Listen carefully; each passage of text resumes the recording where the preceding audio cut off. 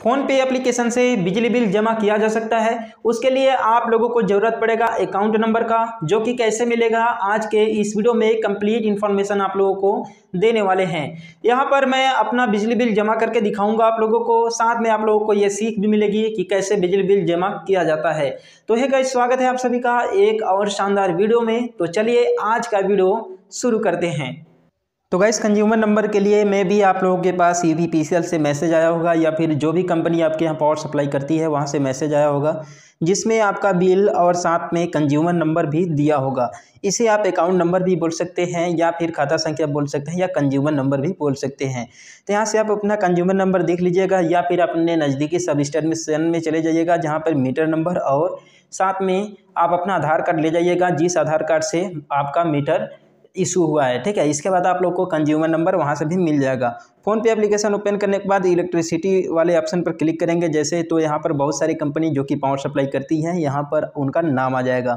यहाँ पर मैं उत्तर प्रदेश से हूँ तो, तो मैं यहाँ पर ई e को सेलेक्ट कर लूँगा। आप जिस भी स्टेट से हैं यहाँ से आप अपनी यहाँ की कंपनी को सेलेक्ट कर लीजिएगा जो भी आपके यहाँ पावर सप्लाई करती है। तो चलिए मैं फिर से आकर के यहाँ पर मैं ई रूरल एरियाज़ को सेलेक्ट कर ले रहा हूँ।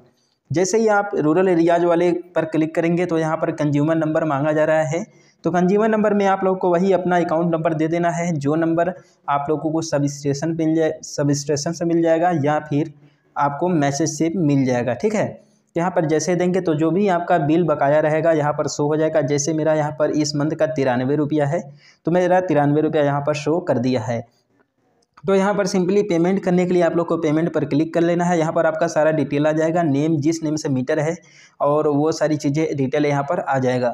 ठीक है तो सिंपली पे पर क्लिक करेंगे। इसके बाद यूपीआई पिन फिल करने के बाद जैसे ही आप यूपीआई पिन डाल देंगे तो यहाँ पर कनेक्टिंग सिक्योरली इसके बाद यहाँ पर प्रोसेसिंग होगा। इसके बाद आपका सक्सेसफुल हो जाएगा पेमेंट यहाँ पर साफ़ साफ़ लिखा हुआ है कि अगर आप आप अभी बिल जमा कर रहे हैं तो हो सकता है कि आपका चार दिनों के अंदर में जो है आपका बिल ज़ीरो हो जाएगा, ठीक है? जो भी बिलर है वो चार दिन के अंदर में आपका बिल ज़ीरो कर देगा, ठीक है? अपडेट कर देगा कि आप लोगों ने कितना बिल जमा किया है, ठीक है? तो इस तरीके से आप अपना बिजली बिल जमा कर सकते हैं, बहुत ही आसान है, ठीक है?